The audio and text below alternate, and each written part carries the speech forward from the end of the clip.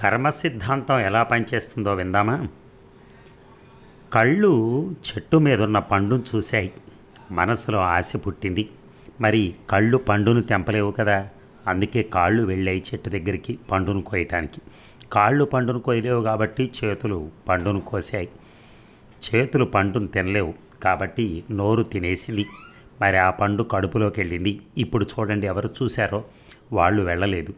ఎవరు వెళ్ళారో వాళ్ళు తెంపలేదు. ఎవరు తెంపారో వాళ్ళు తినలేదు. ఎవరు తిన్నారో వాళ్ళు ఉంచుకోలేదు. ఎందుకంటే అది కడుపులోకి వెళ్ళింది. మరి ఇప్పుడు ఎప్పుడైతే తోటమాలి చూశాడో అప్పుడు దెబ్బలు వీపు మీద పడ్డాయి.